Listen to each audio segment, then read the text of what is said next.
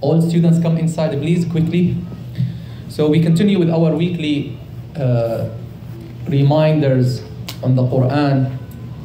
And we talked so far, all sisters, sisters, the female students, quickly please come inside. Boys, leave the chairs, come to the front. Come to the front. Leave the sisters there. Sisters, be there on that line. We talked about أعوذ بالله من الشيطان الرجيم which means what? I seek refuge, I seek protection of Allah, I seek Allah's protection from the expelled, from the outcast shaitan.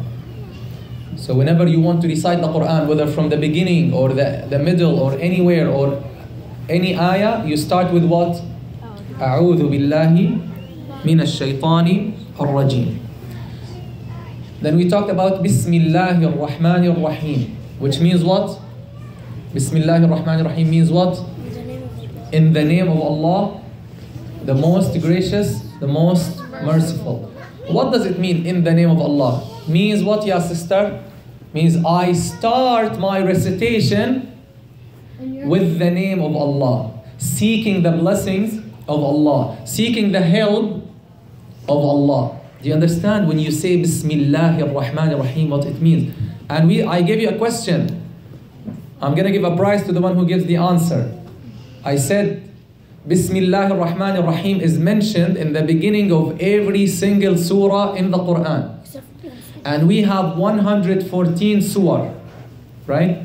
Well, there's one surah that doesn't have Bismillah ar-Rahman ar-Rahim in the beginning, which is Surah At-Tawbah chapter number 9. Still, we have in the Quran for 114 times Bismillah ar-Rahman ar-Rahim.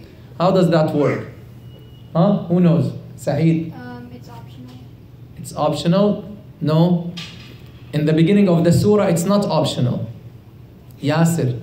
Um, because when the bird came to him and it had Came to who? came to Sulaiman, Who's Sulaiman? prophet, Our Prophet Sulaiman. Sayyiduna Sulaiman alayhi salam. Uh-huh. came with a piece of paper that says Bismillah. Ah, very good. There's surah, a surah in the Quran, which is which surah? Who knows? Huh?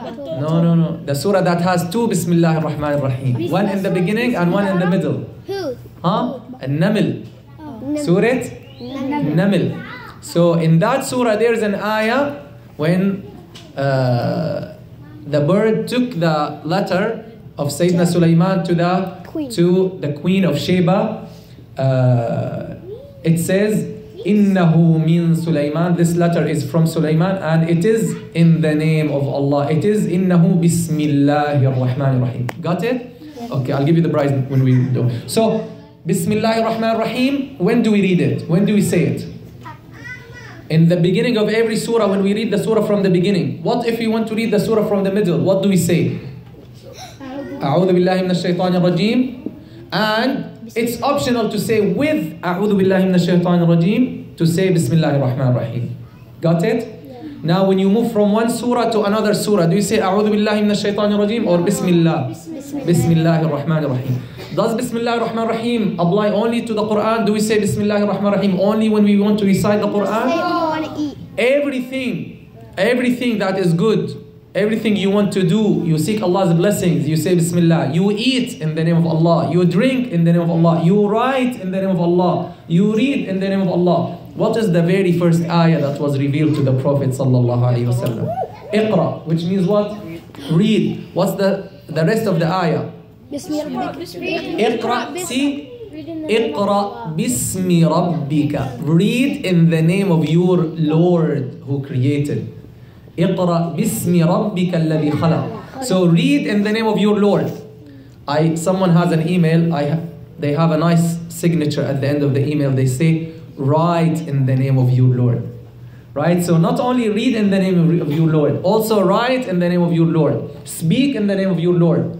Eat in the name of Allah. When you eat, you say Bismillah. When you drink, you say Bismillah. Right? When you enter the masjid, you say Bismillah. When you enter your house, you say Bismillah. So always use the word of Allah subhanahu wa ta'ala. Seek Allah's blessings and do things in the way that pleases Allah subhanahu wa ta'ala. That is Bismillahir Rahmanir Rahim. So always remember everything you do we said last time you started with the name of Allah subhanahu wa ta'ala, who is most gracious, most loving, most merciful. This means we said two things. You're seeking Allah's blessings, because when you mention His name on the thing that you're doing, this will give it blessings, right? Because Allah subhanahu wa ta'ala's name is the most blessed name, right or no? So you seek Allah's blessings. Number two, you seek Allah's help. And number three, I mentioned something last time. Who can remember? When you say Bismillah ar-Rahman ar-Rahim, you're seeking Allah's blessings. And you're seeking His help to help you in this thing. There's a third thing we said. Who can remember? Huh? Anusha. Shaitan doesn't come to you. Shaitan doesn't come to you, yes, but there's a, a third thing that I said. When you say Bismillah ar-Rahman ar-Rahim, there's something else.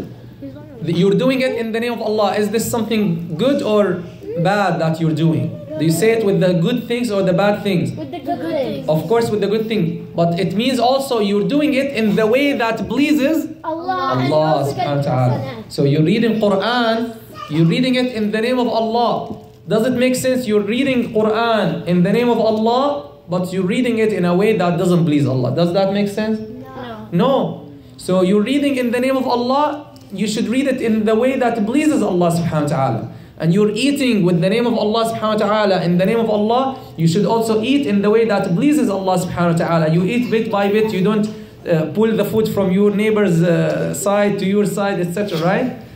Okay, that is Bismillah ar-Rahman ar-Rahim. Inshallah, next Monday we will move to the next ayah, which is Alhamdulillahi Rabbil Alameen. Alhamdulillahi Rabbil Alameen. All praise and thanks be to Allah, the Lord of all creation. We say Alhamdulillahi Rabbil Alameen now, since we are all saved from this hurricane, from the storm, and our masjid is Alhamdulillah protected, and our school is protected. So we have to say Alhamdulillah, right? We have to say Alhamdulillahi Rabbil Alameen for every blessing that Allah has blessed us with. And we also pray for those who have been affected by the hurricane. May Allah subhanahu wa ta'ala give them recovery. Allahumma salli ala Sayyidina Muhammad wa ala alihi wa sahbihi wa sallim. And may Allah give relief to all of the brothers and sisters who are suffering everywhere. Alhamdulillahi Rabbil Alameen. Jazakallah khairan and run to your class.